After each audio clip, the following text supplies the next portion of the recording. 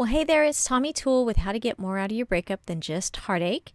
This is Module 2, and this is Protect, Protect, Protect. This is the module about, as you guessed, protecting yourself and your assets and your environment and your kids and all that. But right now, we're going to start with how to protect you. And in this module, you'll discover the big picture, which is my number one rule. I'll get to that. And um, proactive is attractive. Those are a couple things that I want to leave you with um, at the end of this um, module. So, this is uh, something my sisters used. My old, my next oldest sister used to say to me. I have three older sisters, and yeah, shoot me now, right? Feel bad for me because I have three older sisters that I had to always um, just kind of deal with. But they taught me a lot of good lessons in life as a young girl. And one of them was get a jump on the dump. My sister used to always say to me that if um, I was complaining about a boyfriend, she'd say, "Oh well, you know, he's just getting ready to dump you, so you might as well just get a dump, jump on the dump." And you'll feel a lot better. And so um, I kind of lived with that for a while, and she was right about some things. I I embraced that expression um, a few times, but um, so.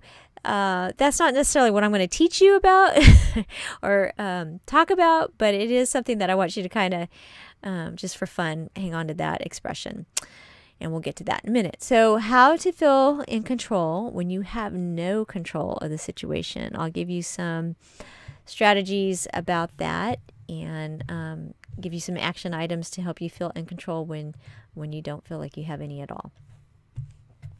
All right, so let's talk about um, getting a jump on the dump. So, all right, so nobody wants to be the one left stuck holding the bag. The general rules for divorce are like the general rules in life. They're all um, sort of like the unwritten codes of conduct that most of us understand, but we don't always abide these rules of conduct. So, for example, if you are feeling fat, you don't talk about how fat you are around someone who is fatter. Sort of like this. Oops, sort of like that um, you know, that sort of thing. We all understand that you don't wear your slippers to the bus stop or around town, for that matter. You you don't walk up to someone's front yard and start picking fruit off their trees. These are all kind of the the rules, unwritten rules of conduct. You don't pick your nose or pop a zit while you're in traffic, and you don't name your kid Osama, right? Those are just things that we just kind of know without talking about it. As kids, we all played the not it game. Remember that? That was the game that we all played to pick the one who wanted to do, um, who had to do the seeking in the game of hide and go seek. It went sort of like this everyone would be bored with the present game. Like, you know, maybe it was Monopoly or Clue or whatever. And in a flash, it was decided that uh, a game of hide and go seek was in order. So without warning, someone shouts, one, two, three. And then, like popcorn, everyone in earshot chimes in, not it, not it, not it. And then the last kid the clueless one, the one who was winning the other game, looks up from the board, and at that moment, everyone shouts, You're it! and runs off to hide, leaving the clueless kid holding the dice. So, in theory, you should only lose the not it game once. The trick and the lesson in life is to be clued in and in tune with the rest of the world around you. So, oftentimes, we are the last ones to know our world is about to change. We weren't even clued into the one, two, three warning. We missed it or ignored it completely. You know what I'm talking about?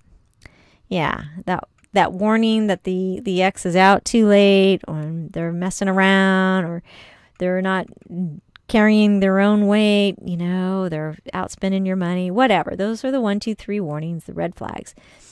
So when our lives are turned upside down, we are usually unprepared for what is about to happen next. Whether we are the one uh, leaving or the one being left, we all feel like the one who got stuck holding the dice. No matter what end you're on, you always feel like you got you were the one that got stuck holding the dice.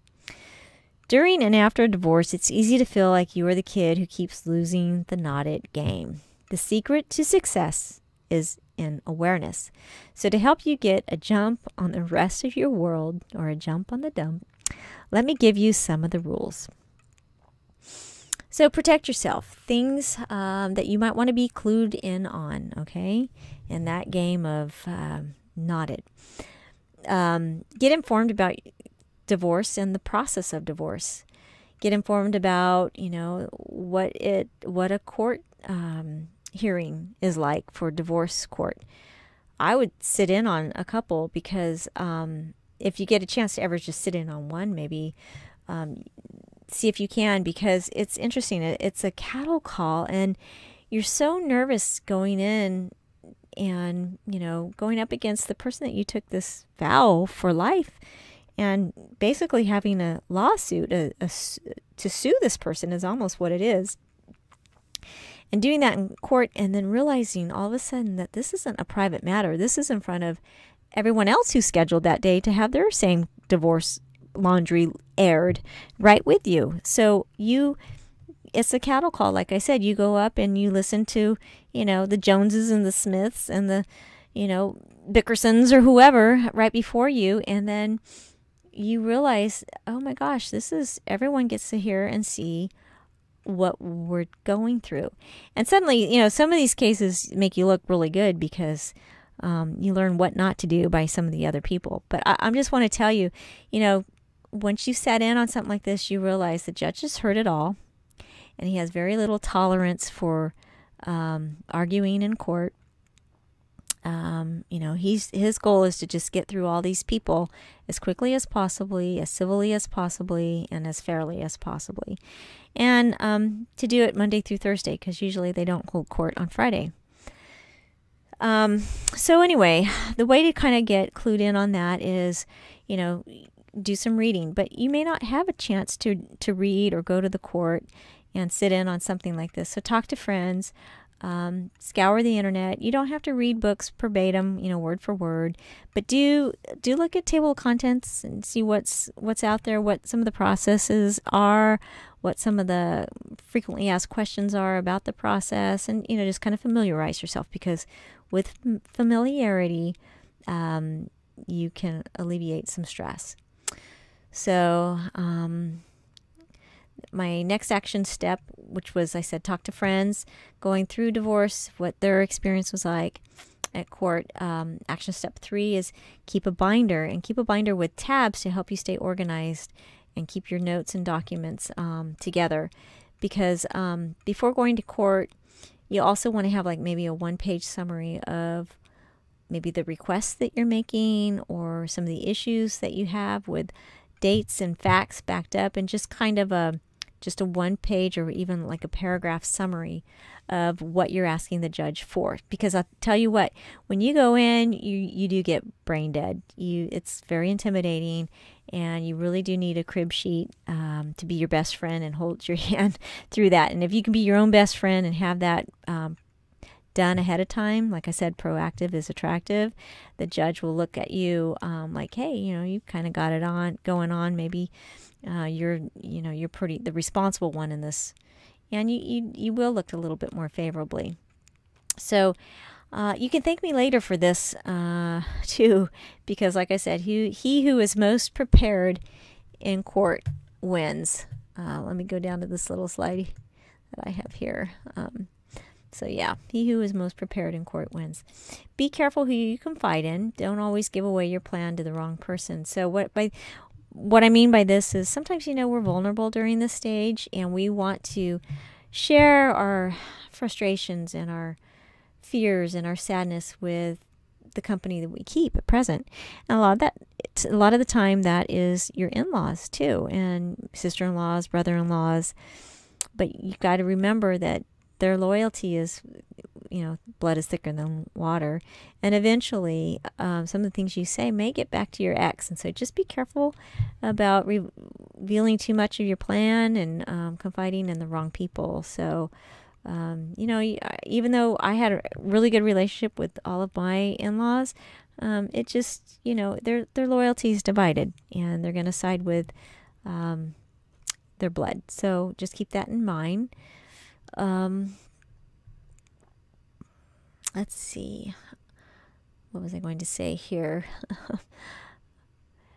so you'll want to decide too um, when the best time to inform your spouse or you know the soon-to-be ex of your actions. Like you may not want to tell them that you're going to file for the divorce until you actually um, have them served, because you know they may not be ready for the divorce um, and may not want to receive the summons. So sometimes you have to have them served, and well, actually, all the time you have to have them served. And, um, you know, it's better to alleviate the anxiety and don't say, oh, hey, by the way, you know, be here at two o'clock because I'm going to have someone serve you. Um, that's not the way you want to do it. Um, you know, and unfortunately, you kind of have to be a little this way because that's, um, and by that I mean you have to be a little bit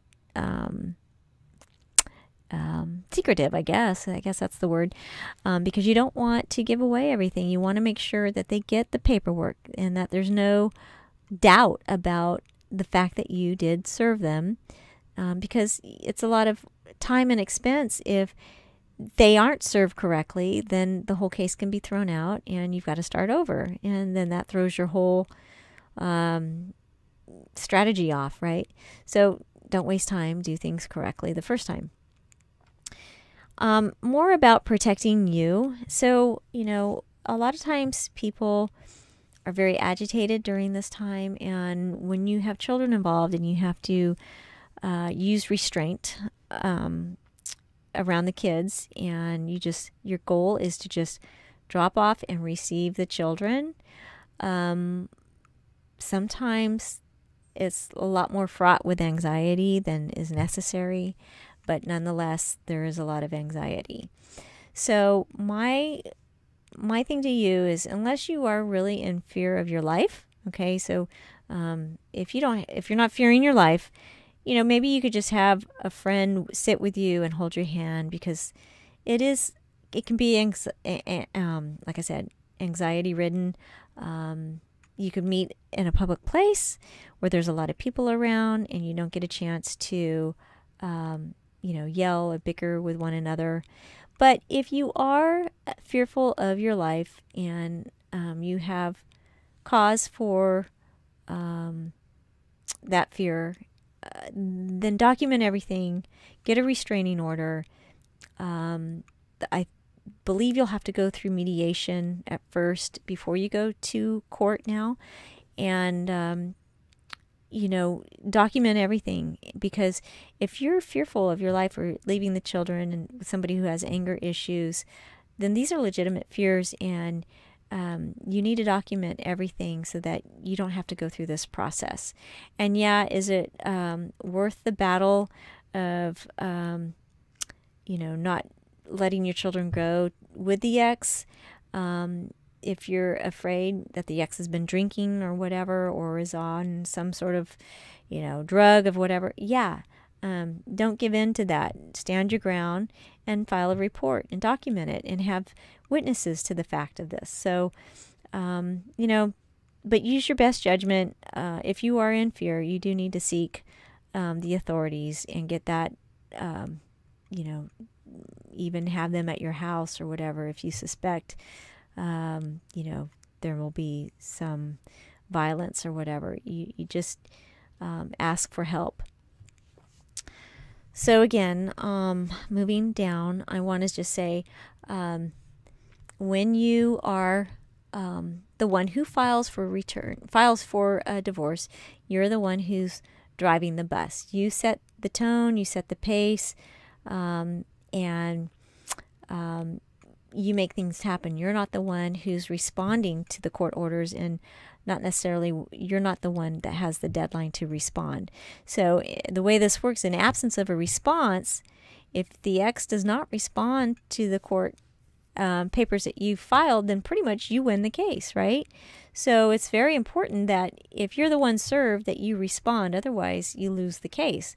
So when you're driving the bus and you're filing the um, divorce papers, you get to set the pace of um, how this is all going to happen. So that's important. Um, so, again, to wrap this chapter up, try to get a jump on the dump, file first, and do those things. Uh, keep everything moving, keep a document, uh, a binder with all your facts documented, um, keep a journal.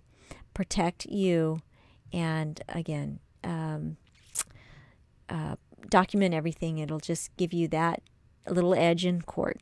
All right. Well, thanks for joining me, and um, we'll get through this module because these are not pleasantries, but um, we will get through some of this stuff and move on to some of the better better topics. Okay.